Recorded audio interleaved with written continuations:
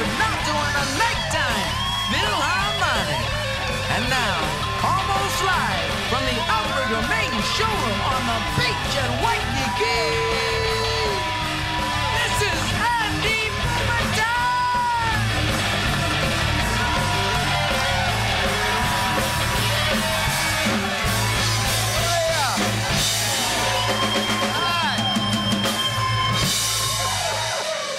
Hi, thank you so much for uh, tuning in to Nighttime.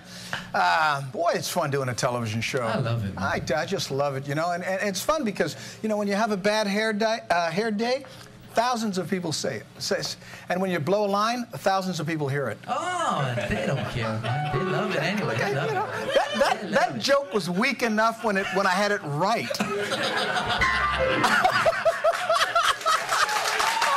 man. And I got hair, hair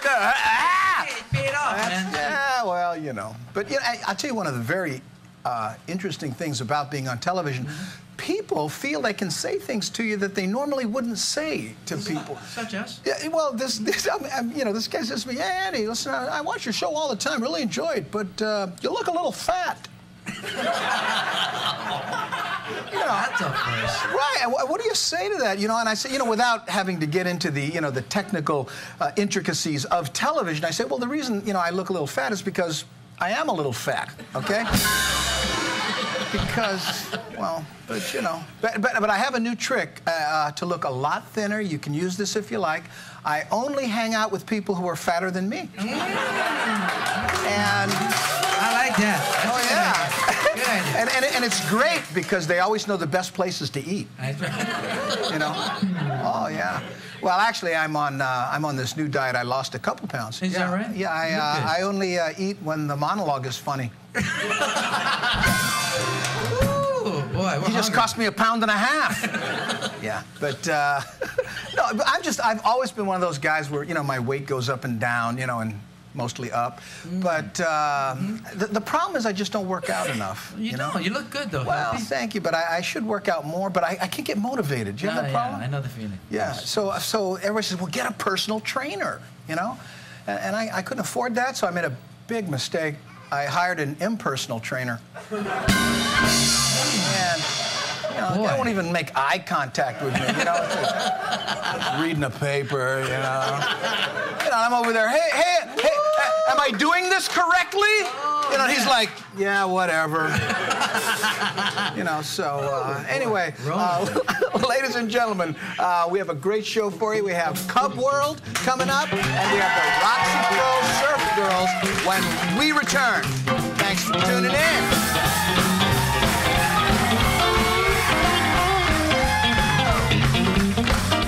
Introducing an unexpected new twist on Cerveza, Miller Chill.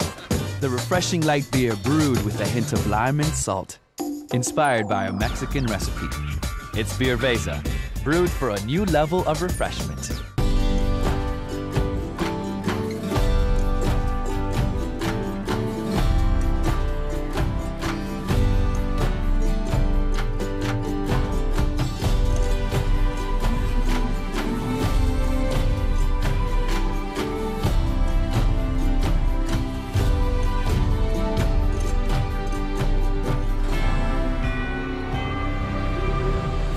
From our family to yours, happy holidays.